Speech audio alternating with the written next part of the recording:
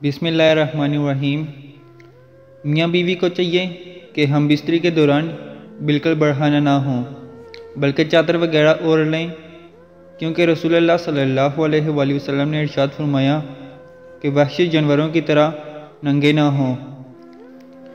नंगे होकर बीवी से मुबाशरत यानी सोहबत करने से औलाद बेहया पैदा होने का खदशा है। बीवी से हम बिस्तरी के वक्त ज़्यादा बातें ना की जाएँ, क्योंकि गुंगी औलाद पैदा होने का अंदेशा है। हावंद को अगर अख्तलाम हुआ हो तो वह बगैर गुसल किए अपनी बीवी से मुजामत ना करे। ऐसा करने से दीवाना या बहील औलाद पैदा होने का अंदेशा है। हम बिस्तरी से फरागत के बाद मियाँ और बीवी दोनों को चाहिए कि पेशाब कर लें, नहीं तो किसी लाइलाज मर्ज में मुबतला होने का अंदेशा है। बीवी से हम बिस्तरी के दौरान, हम बिस्तरी का सबसे बड़ा अदब यह है कि वो बीवी की शर्मगाह को ना देखे, क्योंकि ऐसा करने से अंधी औलाद पैदा होने का अंदेशा है।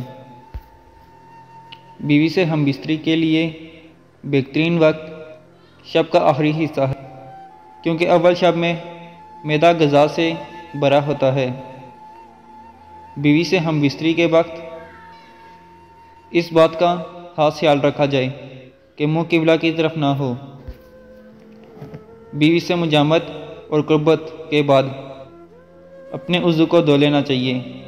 इससे बदन तंदुरुस्त रहता है। लेकिन याद रहे कि मुबाशरत के फौरी बाद ठंडे पानी से ना धोया जाए, क्योंकि इससे बुहार होने का अंदेशा है। बीवी से हम बिस्तरी से फरागत के बाद अपने बदन को नजास्त से धोकर साफ़ कर लें और वज़ू कर लें। बेहतर है कि जमा के बाद जल्द अज जल्द गुसल कर लिया जाए। लेकिन अगर कोई मजबूरी हो या हर शब में दोबारा हम बिस्तरी का इरादा हो तो कम अज़ कम फ़ौर वज़ू कर लेना चाहिए। बीवी से हम बिस्तरी किसी ऐसी जगह पर की जाए जहाँ पर किसी गैर की नज़र ना पड़े। क्योंकि सल्लल्लाहु अलैहि वसल्लम ने इर्शाद फरमाया, जो शख्स पर्दा में छुप कर बीवी से जमा नहीं करता, इसके पास फरिश्ते अलहदा हो जाते हैं और शर्मसार होते हैं। अलबत् शैतान करीब हो जाता है।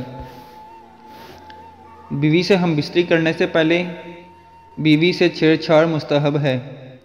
इसलिए कि अगर औरत की ख्वाहिश पूरी ना हो सकी तो इस सूरत में औरत को रंज होता है। और औरत अपने हवन से नफ़रत करने लगती है। बीवी की मर्ज़ी के बगैर कोई हमन जमा के बाद बाहर इंतज़ार नहीं कर सकता। अलबत् लौंडी पर पूरा पूरा अख्तियार है। हैज़ नफास से फरागत के बाद बीवी से मुबाशरत जायज़ है। अलबत् हैज़ नफास के अयाम में औरत से सोहबत करना हराम है। और अगर कोई कर बैठे तो खूब तोबा करना वाजिब है।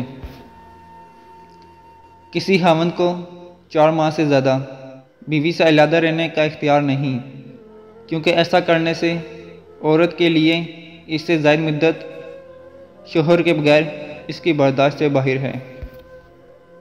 अगर किसी शख्स की खूबसूरत गैर औरत पर नज़र पड़ जाए और वो इसको अच्छी मालूम हो तो इसे चाहिए कि घर आकर अपनी अलिया से जमा करें, ताकि जो शहवत ख़त्म हो जाए और गैर औरत की ख्वाहिश ना रहे।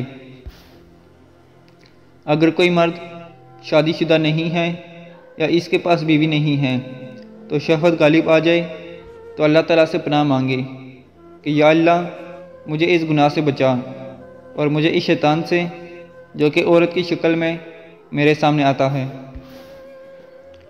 किसी मर्द और औरत के लिए जायज़ नहीं कि जो बातें रास की मर्द और औरत के दरमियान हुई हों, इसका इजहार घरों पर करें।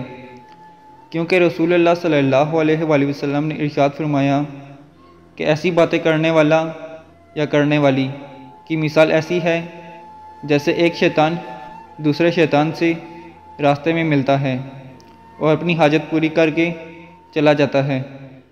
हालाँकि आदमी इसकी तरफ़ देख रहे होते हैं।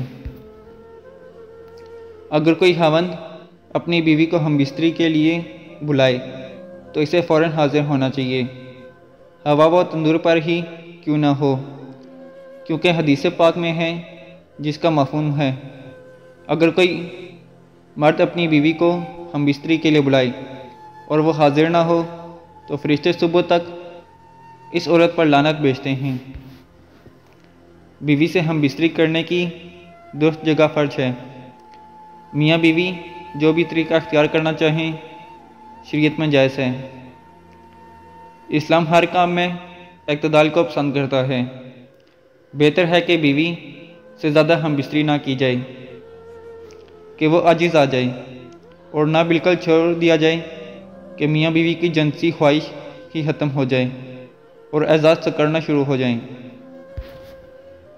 बीवी से हम बिस्तरी, यानी जमा करने का, एक अहम अदब यह भी है कि जब तक दोनों को फरागत और अतमान ना हो जाए, अलग ना हो। औरत के फारग होने से पहले अलग हो जाना सेहत के अतबार से भी मज़र है।